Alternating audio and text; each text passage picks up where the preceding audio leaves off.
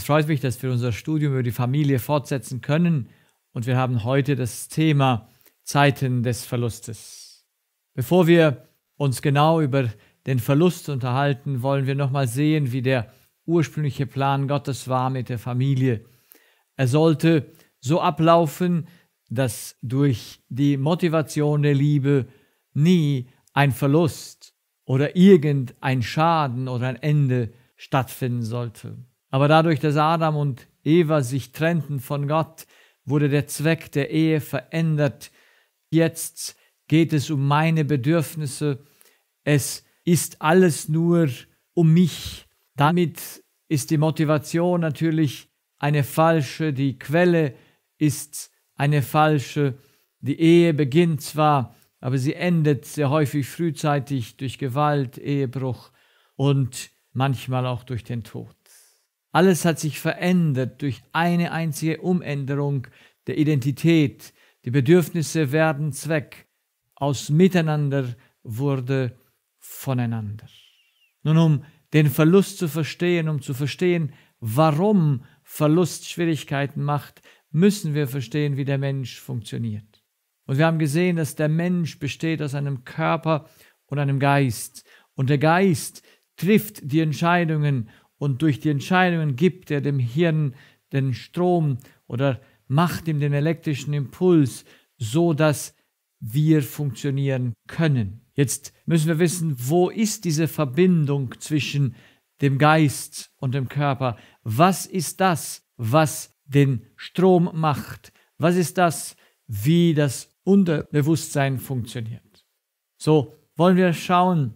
Wir haben ein Unterbewusstsein und ein Bewusstsein und wir haben im Bewusstsein unseren Willen. Alle Entscheidungen, die wir treffen, müssen im Bewusstsein beginnen. Das heißt, wir werden gewahr gewisser Sachen. Wir müssen Dinge hören, riechen, schmecken, ohne dass wir eine Wahl haben, es nicht zu tun. Aber dann kommt die Wahl, nämlich der Verarbeitung dessen, was wir hören, riechen, sehen, schmecken und so weiter. So, wir müssen also bewusst sein von dem, was auf uns zukommt. Und das ist der Hunger, der Durst, das Frieren, das Schwitzen. Es sind die geistigen Bedürfnisse, die uns bewusst werden, die Harmonie, die Gerechtigkeit, die Freiheit, die Treue, die Wahrheit, die Sicherheit. Alles Bedürfnisse, die uns bewusst werden müssen, bevor wir sie unbewusst bearbeiten. So, das heißt, wir brauchen Bewusstsein, um Dinge zu, zu bewerten, auszurechnen. Wie tun wir es? Wir tun das im Unterbewusstsein, wo wir die Stelle haben der Verbindung zwischen Körper und Geist. Das, was grün ist, ist Körper und darüber ist der Geist, das bin ich, der trifft die Entscheidung und die hat er nur zwei Kriterien, um eine Entscheidung zu treffen, nämlich Verlust und Gewinn und er hat zwei Entscheidungen, ein Ja und ein Nein. So, dies ist das Modell unseres Unterbewusstseins von der Funktion her. Das heißt, alles, was der Mensch erlebt, ob er hört, riecht, schmeckt, sieht, alles, was über seine Sinne kommt, muss er in Gewinn oder Verlust oder die Nulllinie einordnen. Es geht nichts mehr wie das. Und so hat ihn Gott geschaffen, dass er für den Gewinn ein Ja hat und den Verlust vermeiden muss. Dafür hat er ihm ein Nein gegeben. Alle unsere Informationen treffen sich an diesem Punkt. Deshalb ist es selbstverständlich, dass alle Probleme des Menschen aus dem Verlust kommen aber nicht aus dem Verlust an sich, sondern aus der Unfähigkeit, den persönlichen Verlust zu vermeiden. Es war 2007, gegen Ende des Jahres, als mir klar wurde in meiner Praxis, dass alle Geschichten, die mir die Patienten erzählten, eine Wurzel hatten, nämlich Verlust. Das war eine große Entdeckung für mich, eine große Offenbarung zu sehen, dass alle Probleme und kein einziges ist ausgenommen in dem Verlust wurzeln. Ganz egal, worum es geht, egal um welchen Verlust es geht, jedes Problem ist gleich Verlust. Und jedes Problem ist gleich Nichtvermeidung des persönlichen Verlustes. So als Gott Adam und Eva geschaffen hatte, und das ist auch, denke ich, die Entscheidungsart aller Geister. Vermute es, dass wir so entscheiden. Also, damit sich ein Geist steuert, braucht er ein Ja und ein Nein. Er braucht Kriterien, nach denen er sich richtet, damit er sich steuert. So, ich habe ein Ja für den Gewinn. Was ist Gewinn? Gewinn sind die Bedürfnisse. Es ist der Friede, die Harmonie, die Gerechtigkeit und so weiter. Und das sind unsere Bedürfnisse und wir müssen sie stillen. Dafür haben wir ein Ja. Und das Nichtstillen der Vernunft, äh, Bedürfnisse haben wir ein Nein. Das heißt, wir sollen sie stillen. Wir müssen unsere Bedürfnisse stillen. Dass ich das Bedürfnis nach Gerechtigkeit habe, ist keine Wahl, ist festgelegt, so wie das Bedürfnis nach Hunger und Durst, nach Wärme. Äh, das sind alles Dinge, die keinen, die keine, äh, wo wir keine Wahl haben. Sie sind da, wir müssen sie stillen. Dafür, wenn wir durstig sind, trinken wir. Aber um zu trinken, muss ich trinken für einen Gewinn halten. Aber ich brauche auch ein Nein zum Trinken, nämlich, dass ich aufhöre zu trinken. Wenn ich nur ein Ja habe und beginne zu trinken, dann höre ich nicht mehr auf. So, wir brauchen für alle Entscheidungen sowohl ein Ja als auch sowohl ein Nein. Ich muss wissen, gucke ich hierhin oder hierhin. Dann, wenn ich hierhin schaue, muss ich hier Nein sagen und hier Ja. Und wenn ich es umgekehrt tue, umgekehrt. So, wir brauchen ständig das Ja und das Nein. Und Gott hat uns gemacht, dass wir in eine einzige Richtung gehen, dass wir nie Verlust haben. So, wir hören auf zu trinken, bevor Trinken ein Verlust wird. Wir hören auf zu essen, bevor Essen ein Verlust wird. So, wir müssen verstehen, es ist immer eine Entscheidung zwischen Gewinn und Verlust. Das läuft unbewusst ab, das geben wir uns nicht Rechenschaft. Aber es ist wichtig, dass wir es verstehen, sonst können wir mit dem Verlust, den wir so erleben, alltäglich nicht umgehen. So, das ist nicht veränderbar. Jesus hat das ganz klar und deutlich gemacht. Er hat uns geschaffen und im, in der Bergpredigt hat er das auch erklärt. Er hat in Matthäus 6, Vers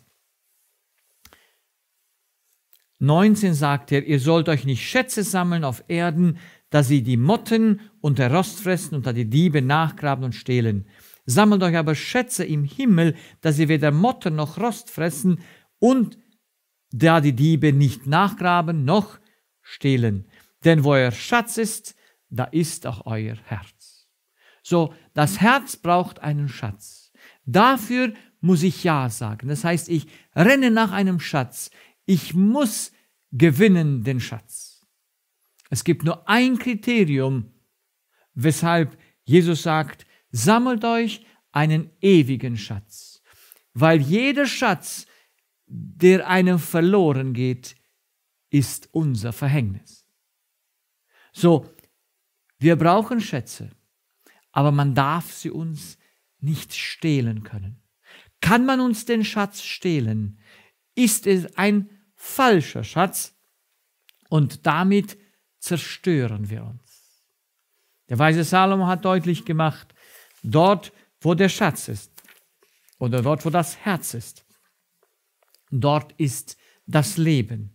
Er sagt in Kapitel 4, in Vers 23, behüte dein Herz mit allem Fleiß, denn daraus geht das Leben. Und die Behütung des Herzens ist, einen Schatz zu haben, den man nie verlieren kann. Das heißt, Dinge zu haben, Dinge zu erreichen, die unvergänglich, die einem niemand nehmen kann. Der Salomo sagt auch sehr schön, dass in Vers 20 bis 22 im Kapitel 4 der Sprüche, mein Sohn, merk auf meine Worte und neige dein Ohr zu meiner Rede, lasse nicht von deinem Augen fahren, behalte sie in deinem Herzen, denn sie sind das Leben, denen sie finden, und gesund ihrem ganzen Leibe. Behüte dein Herz mit allem Fleiß, denn daraus geht das Leben.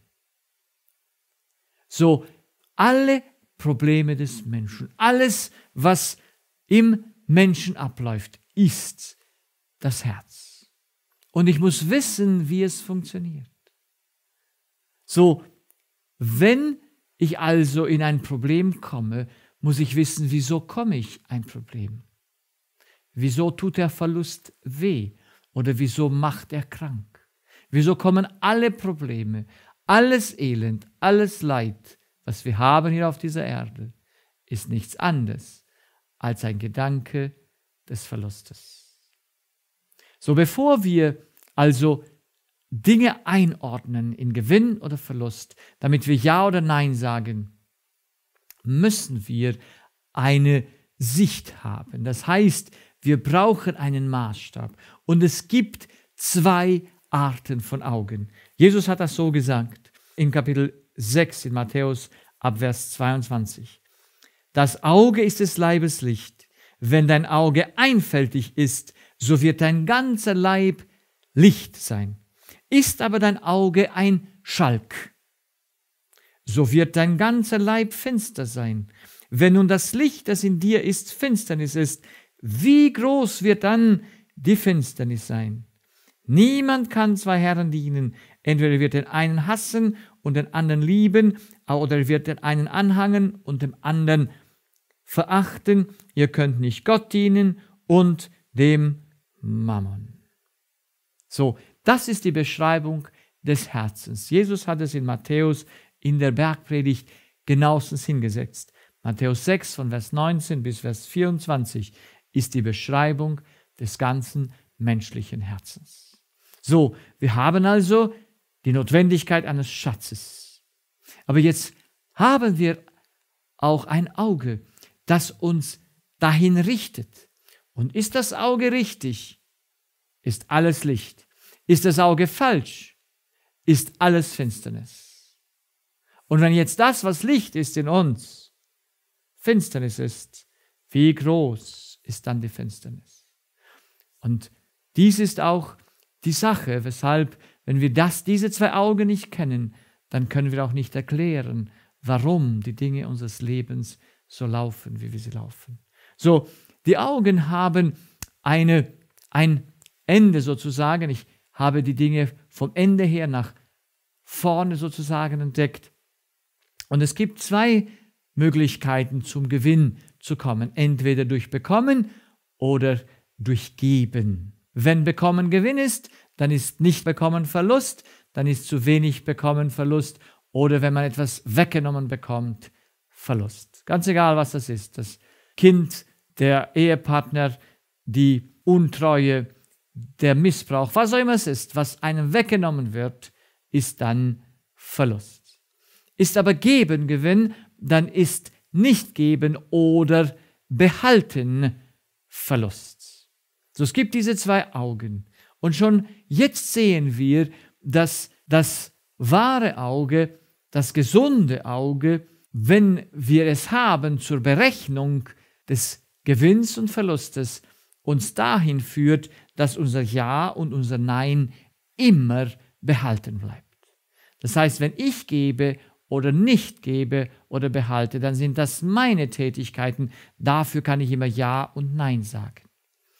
Ist aber das andere Auge, ist Gewinn bekommen und dadurch Verlust nicht bekommen, etwas weggenommen bekommen, damit sind wir unfähig, Nein zu sagen zum Verlust und dadurch müssen wir uns dann zerstören und die Körperliche Krankheit ist die Folge.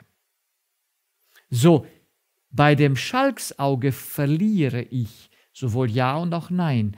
Aber das Ja macht mich nicht krank, weil solange ich bekomme, ist alles okay. Aber wenn ich bekomme oder wenn man mir was weggenommen nimmt, was man mir wegnimmt, dann habe ich ja keine Fähigkeit, auf anderen zuzugreifen, dem anderen zu stoppen, mir das anzutun. Und somit bin ich schachmatt und zerstöre mich, weil ich das Nein verliere. Und das Nein zu verlieren bedeutet, ich kann zum Verlust des Schatzes nicht Nein sagen. Damit muss ich in eine große Not kommen. Nun, was ich beobachtet habe mit den Patienten ist, dass es nicht der Verlust an sich ist, zu dem ich nicht Nein sagen kann, sondern dass ich ihn für persönlich achte. Ich muss für einen Verlust, der nicht persönlich ist, kein Nein sagen. Wenn dem Nachbarn was passiert, dann ist das schrecklich, dann erkenne ich, dass das ein Verlust ist für ihn, aber ich muss es nicht verhindern unbedingt, weil ich kann ja nichts dafür kann nichts tun. Aber ist es mein Verlust, dann muss ich ihn verhindern, dann komme ich in eine Not. So, was führt, was ist die Basis des Auges? Das Auge ist die Identität. Wer bin ich? Und ist die Identität falsch? Das heißt, bin ich ein Gott? So habe ich Egoismus und Stolz als Motivation. Dann denke ich, ich habe Eigentum, dann denke ich, ich kann die Liebe herstellen und dann gebe ich natürlich von mir mit dem Zweck zu bekommen. Und wenn ich dann nicht bekomme oder mir das, was ich denke, mein ist, weggenommen wird, dann komme ich in eine große Not. Ich sprach neulich mit einer Patientin, die sexuell missbraucht wurde im Alter von 17. Sie war und ist jetzt 25. Sie hat Depressionen. Sie kommt über diesen Missbrauch nicht hinweg. Sie sagt, manchmal kann ich ganz gut darüber nachdenken und manchmal nicht. Was hemmt sie? Was macht sie, dass sie jetzt nach dem Missbrauch der körperlich geschehen ist, jetzt einen, einen Zustand hat, der nicht durch, die körperliches, durch das körperliche Ereignis kam, sondern nur durch die Berechnung dieses Ereignisses. Sie muss es berechnen, sie hat keine Wahl. Wir müssen alles, was wir begegnen, berechnen. Mit Gewinn und Verlust. Und wir brauchen dafür eine Klarheit. Warum kommt sie nicht darüber hinweg? Was hält sie fest? Sie erachtet den Verlust für persönlich. Und solange sie den für persönlich erachtet, hat sie Depressionen, Selbstmordgedanken, weil sie weiß nicht, was in ihr vorgeht. Deshalb müssen wir den Menschen es erklären können.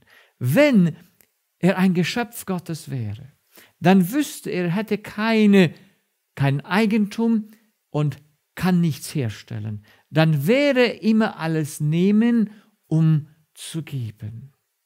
Dann könnte sie aus dieser Not herauskommen. Aber dafür muss sie die Wahrheit über sich selbst erkennen. So die große Not des Menschen ist, dass er geboren ist mit der falschen Identität, mit dem Schalksauge. Und dieses Schalksauge betrügt uns, wenn wir in negative Dinge kommen, um uns selbst zu, zu zerstören. Es betrügt uns auch mit den positiven, aber die führen nicht zur körperlichen Krankheit oder zur Selbstzerstörung.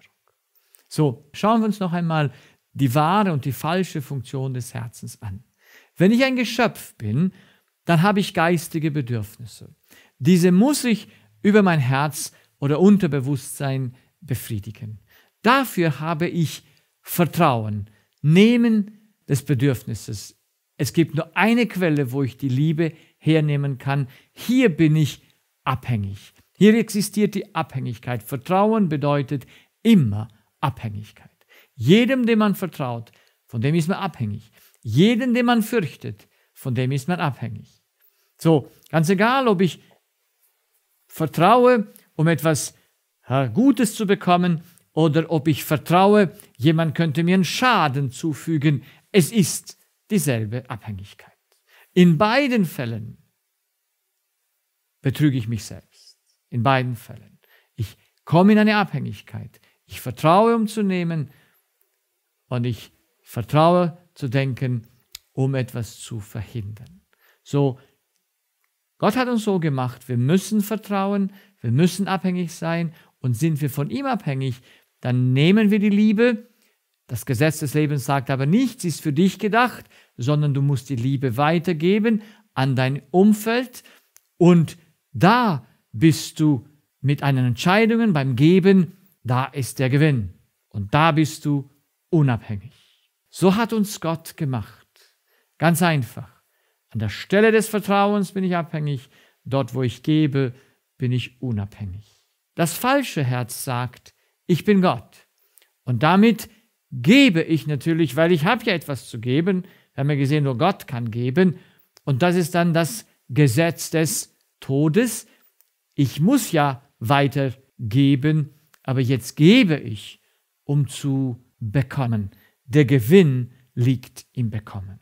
Das ist die Umänderung der Funktion des menschlichen Herzens. Und ich mache es noch einmal klar und deutlich, der Selbstbetrug, ich bin Gott, führt geben, um zu bekommen. Und denkt, im Bekommen ist der Gewinn. Und wenn man dann nicht bekommt oder das Falsche bekommt oder jemand uns etwas antut, dann sind wir natürlich im Verlust und das führt zur Not. Nun, es ist unmöglich, dass der Mensch etwas von sich gibt. Weder sein Körper ist sein, noch sein Leben ist sein. Nichts, was der Mensch gibt, kommt von ihm. Ist unmöglich. Er muss alles nehmen durch Vertrauen, um zu geben. Und im Geweben ist der Gewinn oder die Entscheidungen. Der Mensch sieht nicht, dass Vater, Mutter, Ehepartner, Kind, Freund, Haustier seine Quellen sind, woher er sich ernährt. Er denkt, er ist von denen unabhängig. Er denkt, er hat ihnen etwas gegeben und die sind ihm etwas jetzt schuldig. Den Menschen ist das nicht bekannt, dass er in einer völligen Sklaverei lebt. Erst durch den Verlust wird ihm das bekannt. Deshalb ist der Verlust gut. Deshalb sind die negativen Ereignisse unseres Lebens eine große Hilfe für uns, weil sie offenbaren uns das, was wir sonst nie sehen könnten. Wenn uns jemand enttäuscht, wenn uns jemand betrügt, wenn uns jemand missbraucht, wenn uns jemand irgendetwas antut, müssen wir es berechnen. Und dann sehen wir, ob wir in der Wahrheit sind oder in der Lüge. Und da wir ja unbewusst denken, wir sind in der Wahrheit, aber in der Realität sind wir in der Lüge, offenbaren diese Ereignisse unseren wirklichen Selbstbetrug.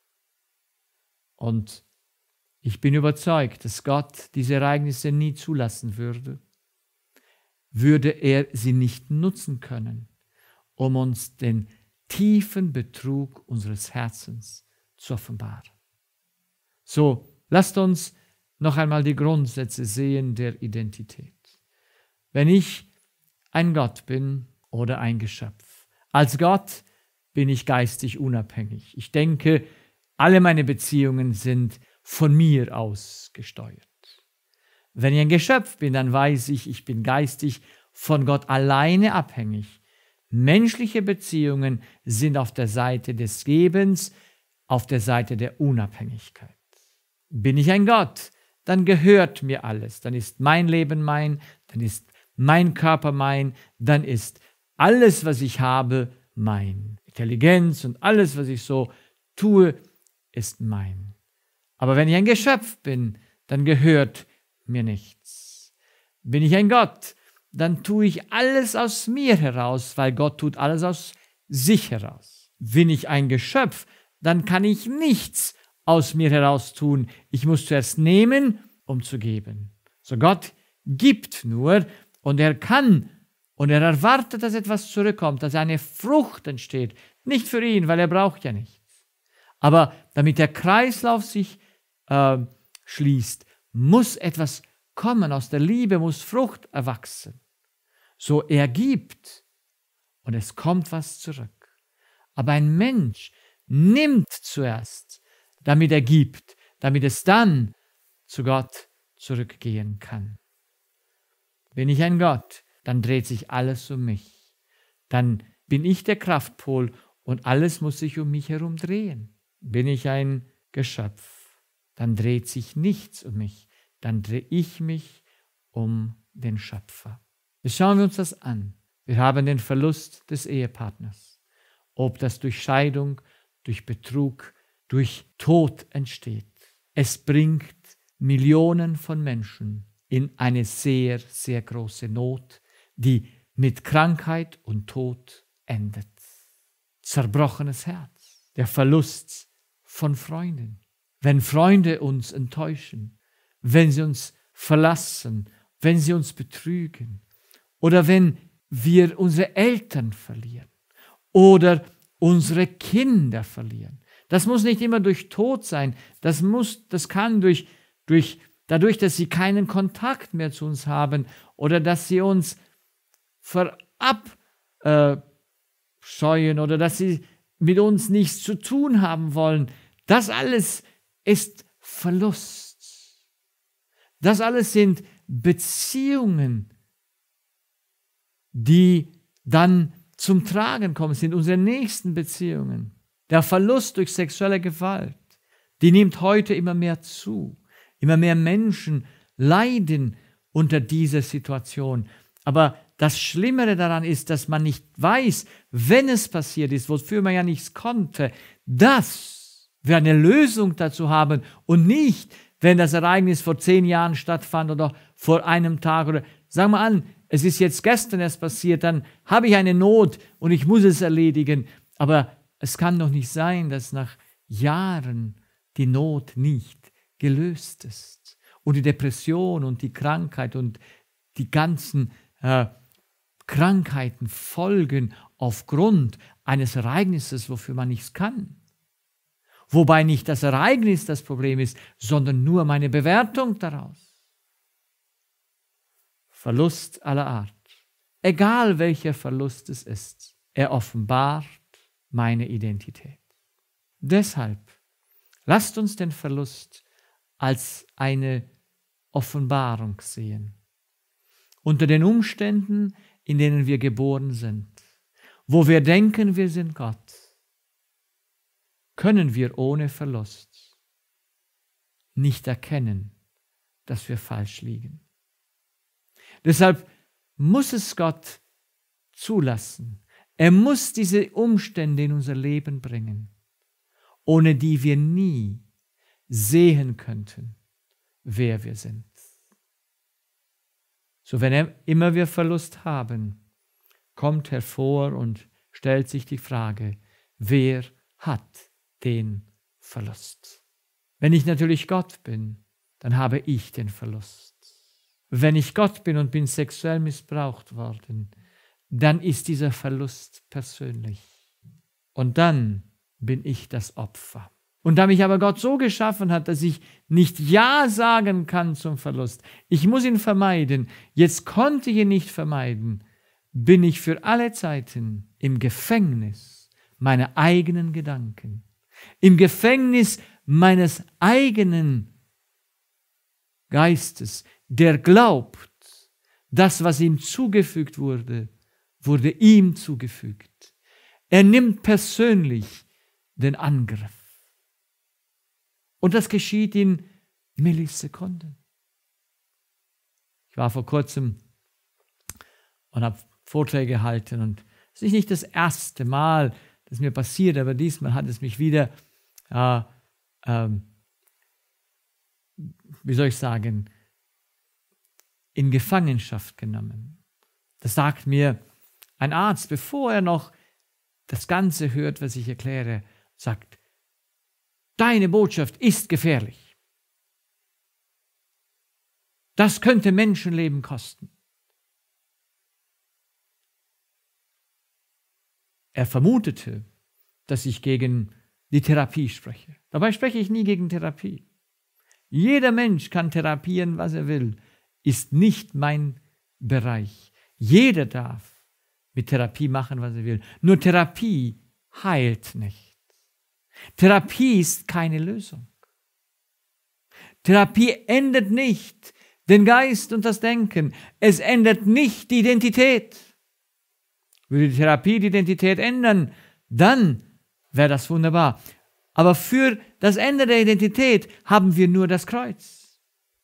Haben wir nur die Veränderung, die Neugeburt. Ich muss wissen, wer ich bin. Dafür muss ich von oben geboren werden, dass ich weiß, ich bin ein Kind Gottes und ich bin nicht ein Gott. Aber als er mir diese Worte sagte, sie waren so entschlossen und, und aggressiv gesagt. Ich habe den Eindruck, wenn er eine Waffe hätte, würde mich, hätte er mich erschossen. Und da hat mich mein Auge betrogen. Ich habe mich verloren, ich habe mich aufgeregt. Und ja, ich kann ja nichts dafür. Mein blindes Auge nimmt den Angriff persönlich. Aber im sofortigen Anschluss danach sage ich, okay, diese, dieser Angriff war gut. Dieses, dieses Geschehen war mir zum Vorteil, weil ich kann jetzt erkennen, dass ich da tief in mir Dinge noch habe, die jetzt hervorgekommen sind und jetzt kann ich sie lösen. Und so bin ich für das Ereignis dankbar, auch wenn es mich aus meinem, wie soll ich sagen, meine Kontrolle rausgebracht hat obwohl ich meine Kontrolle verloren habe. Das Ereignis an sich ist mir hilfreich. Ich bin derselbe vor dem Ereignis und nach dem Ereignis. Nur nach dem Ereignis habe ich einen Vorteil. Ich kann sehen, dass in meinem Herzen noch etwas ist, was ich verändern muss, was abgeschnitten werden muss, damit wenn es wieder geschieht, wenn ich wieder angegriffen werde, ich weiß, Gott hat den Verlust. Nicht mir gilt der Schaden. Nicht ich bin das Opfer des anderen. Dann bin ich ein Geschöpf. Reagiere ich als Geschöpf auf egal welchen Umstand, wird mein Geist nicht gefangen genommen und mein Körper wird nicht durcheinander gebracht. Das war das Leben Jesu. Das hat uns Jesus demonstriert. Er hat uns gezeigt, dass er nie Opfer war, obwohl er alle Missbräuche hatte, alle Verluste hatte und noch viel mehr wie wir. Und dennoch hat er keinen dieser Verluste persönlich genommen, weil er wusste, ich bin das Kind meines Vaters. Er hat alles, alles hat er seinem Vater anheimgelegt. Im 1. Petrus Kapitel 2, es ist so schön zu lesen, wenn man liest ab Vers 22 oder ich lese ab Vers 21. 1. Petrus 2 ab Vers 21. Denn dazu seid ihr berufen, weil auch Christus gelitten hat für uns und uns ein Vorbild gelassen, dass ihr sollt nachfolgen, seinen Fußtapfen. Wozu sind wir berufen? Ich lese noch das, das davor ist. Ab Vers 18. Ihr Knechte seid untertan mit aller Furcht dem Herrn, nicht allein den Herren, nicht allein den Gütigen und Gelinden, sondern auch den, den Wunderlichen, das heißt des Bösen. Denn das ist Gnade. So jemand um des Gewissens willen zu Gott das Übel verträgt und leidet das Unrecht. So ist also Gnade, Unrecht zu leiden. wenn es um Gottes Willen ist. Und es ist immer um Gottes Willen, wenn ich unschuldig bin. Das heißt, wenn man mich anklagt ohne Grund. Wenn man mir etwas antut ohne Grund. Dann ist das Leiden. Dann ist es Gnade, so jemand um des Gewissens willen zu Gott das Übel verträgt und leidet Unrecht. Denn was ist das für ein Ruhm, so ihr um Missetat willen Streiche leidet? Aber wenn ihr um Wohltat willen leidet und erduldet, das ist Gnade bei Gott. Denn dazu seid ihr berufen. Was? Wir sind berufen, um Wohltat willen zu leiden. Wir sind berufen, dass dann, wenn wir das Gute tun, wenn uns Leid zugefügt wird, wir es ertragen können, weil wir haben ein Vorbild. Es steht nämlich hier, weil auch Christus gelitten hat für uns und uns ein Vorbild gelassen, dass ihr sollt nachfolgen seinen Fußstapfen. Und jetzt erklärt er worin, welche keine Sünde getan hat, ist doch kein Betrug in seinem Mund erfunden. Das heißt, er wurde ohne Grundeswillen missbraucht, ans Kreuz genagelt, verfolgt, beschuldigt. Alles ohne einen einzigen Grund dazu. Das ist Gnade. Welche nicht widerschallt, da er gescholten ward und nicht drohte, da er litt. Er stellt es aber dem heim, der da recht richtet. Das ist völliges Vertrauen auf den Vater. Wenn wir etwas erleben und wir richten es als persönlich, dann können wir keinen Frieden finden, dann muss die Krankheit folgen, dann kommen wir nie aus, raus. Welche unsere Sünden selbst hinaufgetragen hat auf sein Leibe, auf das Holz, auf das wir der Sünde abgestorben. Was ist die Sünde? Hier ist es die falsche Identität. Sie ist nicht Sünde an sich, aber die Lüge über uns selbst. Die Lüge über uns selbst muss ans Kreuz. Ich bin Gott, muss weg, auf dass wir der Sünde abgestorben, damit wir der falschen Identität abgestorben, der Gerechtigkeit leben, nämlich ich bin Kind Gottes, das ist die Wahrheit über uns, durch welches Wunden ihr seid heil geworden. So, hier liegt das Geheimnis des Lebens. Für uns als Menschen, die mit Gott wandeln, wir brauchen eine neue Identität. Die alte muss jeden Tag ans Kreuz genagelt werden. Wenn immer wir in die Not kommen und Verluste durch das, was andere tun, erfahren, ganz egal welches er ist, ob großer Verlust in unseren Augen oder kleiner, er wird mich je nach Größe zerstören. Deshalb brauche ich eine klare, neue Sicht der Dinge. Ich brauche ein klares Auge, das die Wahrheit über sich selbst erkennt. Ich weiß, wer ich bin. Und wenn ich weiß, wer ich bin, kann passieren, was da will. Ich werde es dem anheimrichten, der da recht richtet. Diese junge Frau, die missbraucht wurde, würde sie die Wahrheit erkennen, wäre sie in einer Sekunde frei und die Vergangenheit wäre für immer nicht mehr ihre. Sie könnte auf den Missbrauch zurückblicken. Sie muss sie nicht vergessen. Aber sie wäre nicht mehr missbraucht worden. Sie würde verstehen, es galt Gott. Sie würde verstehen, es war Gottes Körper, sein Eigentum, der missbraucht wurde, der berührt wurde. Und Gott hat gesagt, wer euch anrührt, rührt meinen Augapfel an. Und sie kann dann das Gericht dem anheim geben, der da recht richtet. Sonst muss sie sich an die Richterstelle stellen. Deshalb kommt sie nicht aus der Not heraus, weil sie erwartet in ihrem Gerechtigkeitssinn, dass man ihr Gerechtigkeit tut, aber sie hat kein Mittel, das zu beheben. Und somit geht sie zugrunde.